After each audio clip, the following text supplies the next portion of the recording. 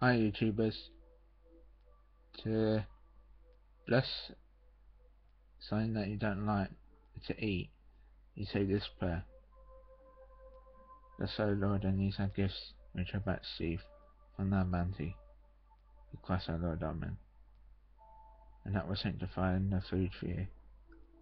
And then to say thank you afterwards is we give thee thanks for all our benefits Almighty God, do us and reign us well of our end. The soul, so the departed rest in peace. The massive God rest in peace. Amen.